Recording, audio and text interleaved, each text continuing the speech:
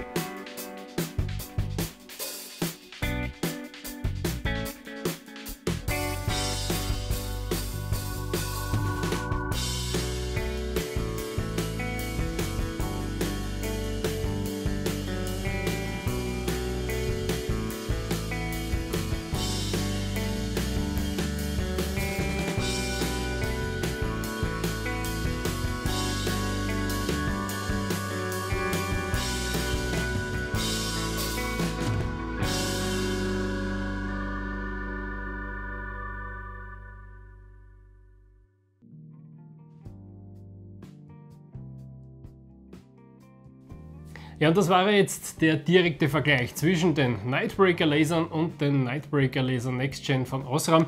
Freut mich, dass ihr dran geblieben seid. Willkommen zurück. Und jetzt geht es ans Fazit. Und ich würde sagen, heute mache ich es mal ein bisschen anders, denn bevor ich euch jetzt ja, meine Eindrücke preisgebe und ein bisschen Revue passieren lasse, was wir jetzt gerade gesehen haben, würde ich sagen, gehen wir gleich einmal raus zum Fahrzeug und schauen uns jetzt noch im direkten Vergleich die Messwerte hier mit meinem Luxmeter an. Und danach arbeite ich das Ganze noch ein bisschen auf, denn das wird auf jeden Fall noch spannend und da gibt es einige spannende Details bzw. Informationen, ähm, auf die ich eingehen möchte, damit hier auch wirklich Klarheit herrscht. Zum Luxmeter vielleicht noch ein paar Worte. Das Luxmeter ist so eingestellt, dass es immer den hellst gemessenen Wert auf dem Display abspeichert. Also wenn dann danach irgendwo etwas Dünkleres kommt, also ein weniger heller Bereich, dann verändert sich die Zahl nach unten hin nicht mehr. Nur wenn noch ein etwas höherer Wert gemessen wird, wird das am Display abgespeichert und dadurch wird eben der hellste Wert dargestellt, den ich mit dem Luxmeter messen konnte. So und jetzt geht es ans Ermitteln der Messwerte und hier zeige ich euch zunächst einmal die Nightbreaker Laser.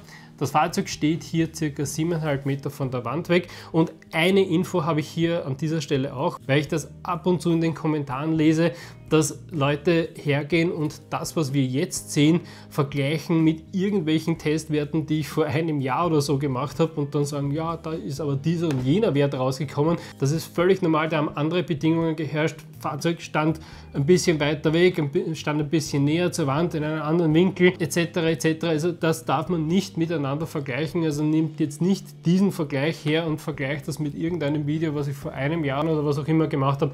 Das ist völlig was anderes. Wenn dann wirklich nur Videos aus der gleichen Serie vergleichen, aber bitte nicht den Fehler machen und hier verschiedene Vergleiche heranziehen. 10 cm näher an der Wand bringen ein anderes Ergebnis und das ist völlig sinnlos, hier jetzt Messwerte von anderen Videos zu vergleichen. So, und das an dieser Stelle und bei den Nightbreaker Lasern konnte ich im Abblendlicht einen Maximalwert von 721 Lux messen. So, und jetzt geht es noch ans Fernlicht.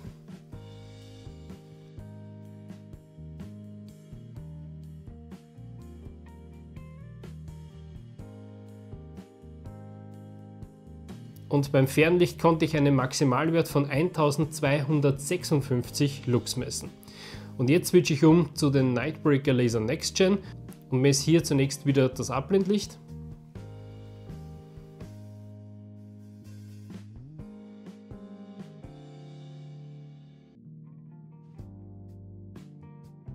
Und beim Abblendlicht konnte ich einen Maximalwert von 783,3 Lux messen, was ein Plus von 8,6% gegenüber den Nightbreaker Lasern bedeutet. Und jetzt geht es noch ans Fernlicht.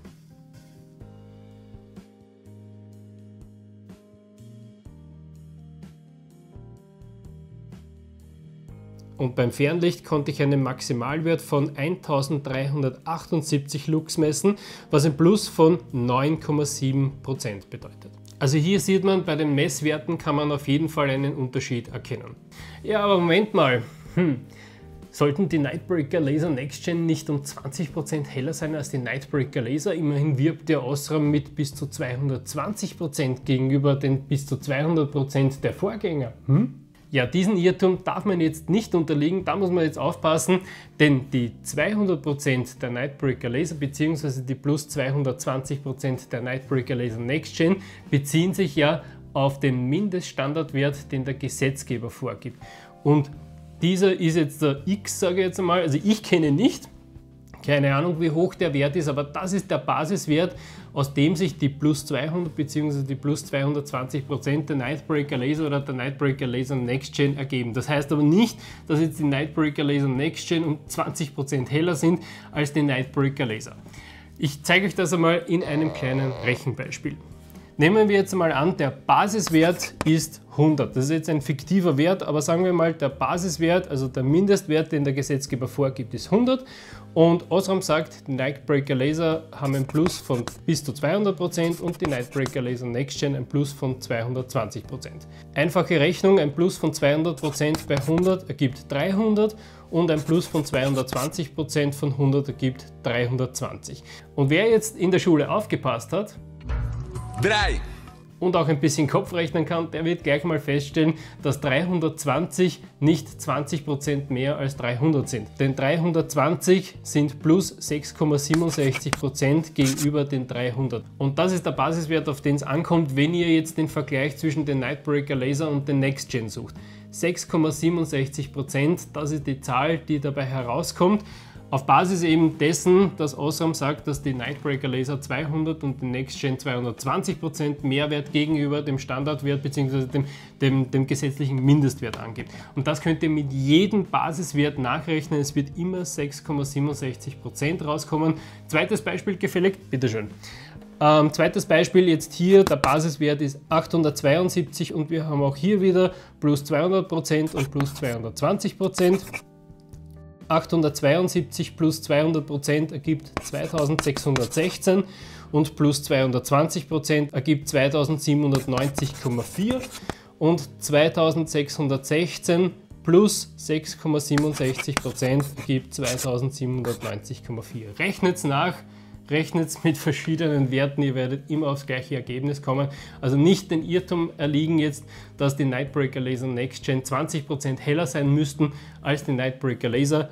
6,67%, das ist der Basiswert. Und wenn wir das jetzt im Vergleich zu dem setzen, was ich mit dem Luxmeter gemessen habe, dann passt der Wert eigentlich ganz gut. 8,6% im Abblendlicht, 9,7% im Fernlicht, also da ist man auf jeden Fall auf der sicheren Seite. Und wie gesagt, messbar ist der Unterschied auf jeden Fall. Optisch sieht die Sache ein bisschen anders aus, finde ich. Denn wenn wir uns den Vergleich jetzt nochmal anschauen, und ich picke euch hier jetzt ein paar Vergleichsbilder heraus, pff, also marginal, sage ich jetzt einmal. Also hier jetzt wirklich im direkten Vergleich, ja, da kann man vielleicht einen minimalen Unterschied erkennen, aber ich sage mal, wenn ihr die Xenonbrenner tauscht und ihr schaut euch das dann auf der Straße an und habt immer nur ein Bild vor Augen, wird euch der Unterschied, denke ich mal, nicht auffallen. Also das ist es auf jeden Fall, aber sie bieten beide eine megamäßige Ausleuchtung, also vor dem Fahrzeug ist es wirklich super hell. Die Ausleuchtung ist sehr breit, auch über den Fahrbahnrand hinaus, die Reichweite ist toll. Ähm, auch im Fernlichtbereich bieten beide wirklich eine megamäßige Ausleuchtung und das ist wirklich wunderbar. Aber jetzt im direkten Vergleich, und man muss da auf jeden Fall auch bedenken, dass die beiden Xenonbrenner hier jetzt auch die gleiche Betriebsdauer in sich haben. Also beide haben, wie gesagt, eine Einbrennzeit von 25 Stunden von mir bekommen und waren gleich lang im Betrieb. Und das ist der 1 zu 1 Vergleich und ich lehne mich jetzt da mal wirklich sehr weit aus dem Fenster raus und sage mal, also das bekommt ihr jetzt so auf YouTube, denke ich mal, nicht so schnell. Sagen wir es mal so, dass ihr hier wirklich so einen 1 zu 1 Vergleich bekommt. Und jeder, der jetzt schon die Nightbreaker Laser in Einsatz hat, die haben schon deutlich mehr Betriebsdauer als eben neue. Da wird dann der Unterschied vielleicht ein bisschen größer sein. Aber so jetzt hier im direkten 1 zu 1 Vergleich, optisch gesehen, ist der Unterschied wirklich nur marginal. Also da kann man ähm, sagen, was man möchte und da kann man hineininterpretieren, was man möchte. Wie gesagt, wirklich nur marginal und, und, und ganz, ganz minimal. Messbar ist er definitiv. Was die Farbtemperatur angeht, bewegen sich auch beide auf einem sehr ja, ähnlichen beziehungsweise eigentlich fast auf dem gleichen Niveau. Also da gibt es auch keine großen Unterschiede, weil ich schon jetzt in der Vergangenheit bei ein paar Kommentaren gelesen habe, dass da der eine oder andere der Meinung ist, dass die Nightbreaker Laser Next Gen gelber sind als die Nightbreaker Laser. Also ich konnte es nicht feststellen und auch die offizielle Angabe von Osram gibt es ja wieder, dass sowohl die Nightbreaker Laser als auch die Next Gen 4400 Kelvin Farbtemperatur aufweisen. Zumindest hier jetzt in meinem Fall in der D3S Variante beziehungsweise in den 42 Volt Xenonbrennern Varianten sind es 4400 Kelvin, bei den 85 Volt Varianten sind es 4500 Kelvin, also um 100 Kelvin mehr. Und im Vergleich zu Standard Xenonbrenner sind es eben bei den D3s 4300 Kelvin, also um 100 Kelvin mehr. Ich persönlich hätte es mir ehrlich gesagt auch gewünscht, wenn Osram hier noch einen Tick nachlegen würde, um hier die Farbtemperatur ein bisschen noch, ähm, ja, ein bisschen kühler abstimmt. Ich habe das immer wieder gelesen, dass, äh, dass mir Leute geschrieben haben in den Kommentaren, dass sie wirklich begeistert sind von den Nightbreaker Lasern. Allerdings ihnen die Farbe doch um einen Tick zu gelb ist. Also sie wünschten sich hier noch ein bisschen mehr in Richtung weiß das Licht. Also ich hätte mir gewünscht, wenn, wenn Osram hier noch 200 Kelvin oder so drauflegt und aus dem 4400 4600 Kelvin macht. Ich denke mal, dann wäre noch immer das Prädikat Allround Xenonbrenner definitiv gegeben.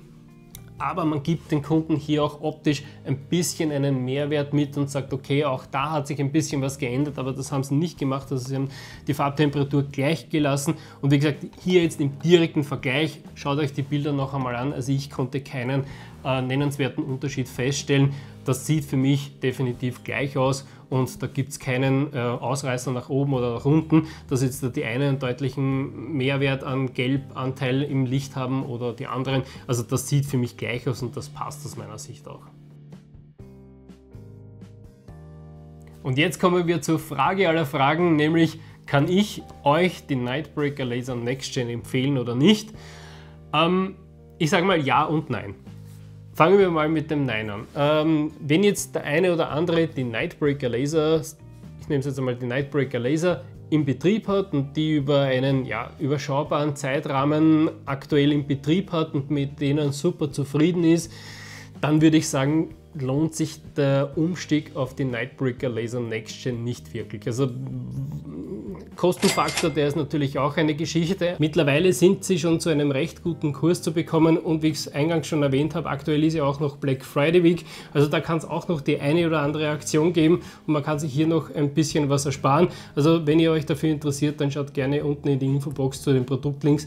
Da findet ihr dann nähere Informationen dazu aber trotzdem ist es ein monetärer Mehraufwand und ob sich das rechtfertigt oder nicht, sei jetzt einmal dahingestellt. Ich würde eher sagen, nein. Also wie gesagt, wenn ihr mit den Nightbreaker Lasern aktuell zufrieden seid und die eine Top-Ausleuchtung für euch haben und so weiter und so fort, sehe ich keinen Grund hier umzusteigen. Wenn man das jetzt im Vergleich zu Standard-Xenonbrennern sieht, dann sieht das Ganze ein bisschen anders aus. Da blende ich euch hier noch einmal den Vergleich vom vorangegangenen Video ein. Da habe ich nämlich die Nightbreaker Laser Next Gen gegen die Standard Xenonbrenner von Osram verglichen und da hat man einen deutlichen Mehrwert. Und das war im Abblendlicht 75,4% bzw. im Fernlicht 34,7%. Also wenn ihr mit Standard-Xenobrenner unterwegs seid und die auch schon ein paar Jahre auf dem Brenner haben, dann lohnt sich der Umstieg definitiv. Dann bekommt ihr das hellste, was aktuell Osram im Katalog hat und auch was legal ist. Und es geht natürlich mehr, ja, kein Thema. Also man könnte sicherlich noch mehr aus dem Xenonbrenner herausholen. Allerdings geht das auf die Lebensdauer. Es ist immer so, man kann ein bisschen was optimieren, das hat Osram aus meiner Sicht hier auch getan, weil man hier jetzt eben auch den Unterschied zu den Nightbreaker Lasern gesehen hat. Also ein bisschen was ist an der Optimierung noch gegangen, nur wenn man mehr möchte, dann geht das nur auf Kosten der Lebensdauer. Und das wollte Osram, denke ich einmal, hier bei den Nightbreaker Lasern definitiv vermeiden. Und wenn man auf die Rückseite der Box schaut, bei den Nightbreaker Lasern Next Gen gibt Osram den gleichen Wert bezüglich der Lebensdauer wie bei den Nightbreaker Lasern. Und wie gesagt, mehr wäre sicherlich noch drin, aber das geht definitiv nur mehr zu Lasten der Lebensdauer und das wollte Osram aus meiner Sicht, denke ich mal, vermeiden. Und noch dazu gibt Osram hier jetzt auch bei den Nightbreaker Laser Next Gen drei Jahre Garantie auf, es blendet ein bisschen, tut mir leid, drei Jahre Garantie auf dem Xenonbrenner drauf und das ist auf jeden Fall auch eine Geschichte, die man mit ins Kalkül ziehen möchte. Also wie gesagt, wenn ihr mit den Nightbreaker Lasern aktuell unterwegs seid und ihr seid, seid, zufrieden und es passt alles wunderbar, würde ich sagen, nein, der Umstieg zahlt sich nicht aus. Wenn ihr Standard Xenobrenner verbaut habt oder eben vielleicht auch Nightbreaker Laser oder die Coolblow Intense oder keine Ahnung was, die jetzt schon hunderte von Stunden im Betrieb waren, dann zahlt sich der Umstieg definitiv aus, insbesondere wenn Standard äh, Xenobrenner sind. Also da ist sicherlich ein mega Mehrwert drinnen. Und Variante 3 ist, ähm, wenn ihr jetzt sagt, ich möchte auf Teufel komm raus das Maximale aus meinem Scheinwerfer nochmal rausholen, dann ja, okay, dann bleibt euch eh nur der Nightbreaker Laser Next Gen übrig und dann könnt ihr auch hier zugreifen. Und eine Sache, die ich auch ab und zu lese, ist, aber ihr müsst euch darüber bewusst sein, was ihr hier kauft. Ihr kauft hier keinen Xenonbrenner, der ein weißes Licht abgibt oder ein bläuliches Licht oder ein, ein, ein Licht mit einer kühlen Farbtemperatur abgibt die haben einen Gelbanteil im Licht und das ist gewollt. Osram bietet hier mit den Nightbreaker Laser Next Gen Xenonbrenner eine Allround Xenonbrenner an, der für die gesamte Jahreszeit gedacht ist. Also sowohl bei Schönwetter als auch bei schlechten Wetterbedingungen mit Nebel, mit Regen und so weiter und so fort ist man mit diesem Xenonbrenner immer auf der sicheren Seite und hat hier das Maximalste an Ausleuchtung, sage ich jetzt einmal, was, was aktuell möglich ist. Und das muss wirklich bewusst sein, weil ich ab und zu auch lese, ja, aber die Nightbreaker Laser sind ja gelblich, das will ja keiner und so weiter und so fort. Ja, es sagt ja auch keiner, dass sie weiß oder blau sind oder was auch immer. Ja, das wird, mit dem wird man ja nicht. Da muss man halt wirklich wissen, was man möchte. Und wenn man ähm, diese Farbtemperatur nicht möchte, ja, dann muss man sich halt eben ein anderes Produkt suchen. Ist so. Ja, und das war es jetzt da, ja, von den Nightbreaker Lasern Next Gen und dem Vergleich zu den Nightbreaker Lasern. Jetzt würde mich auf jeden Fall noch interessieren, was sagt ihr zu diesem Vergleich? Seht ihr hier den Mehrwert von den Nightbreaker Laser Next Gen? Überlegt ihr euch sie zuzulegen oder habt ihr sie vielleicht sogar schon in Verwendung? Dann schreibt mir das gerne unten in die Kommentare rein, würde mich auf jeden Fall interessieren. Und wenn ihr Interesse an den Nightbreaker Laser Next Gen oder an den Nightbreaker Lasern habt, dann schaut in die Infobox hinein. Da findet ihr die Produktlinks dazu und da könnt ihr euch dann nähere Informationen dazu einholen, wo ihr sie herbekommt, was sie aktuell kosten und was es sonst noch alles Wissenswertes dazu gibt. Wie gesagt, das war jetzt das zweite Video. Ein bisschen was wird noch folgen. Da könnt ihr auf jeden Fall schon mal gespannt sein. Wenn ihr das in Zukunft nicht verpassen wollt, dann abonniert am besten gleich meinen Kanal und aktiviert auch die Glocke, denn dann seid ihr immer als erster informiert, wenn es von mir was Neues gibt. Ich danke euch fürs Zuschauen und würde mich freuen, wenn ihr das nächste Mal wieder einschaltet.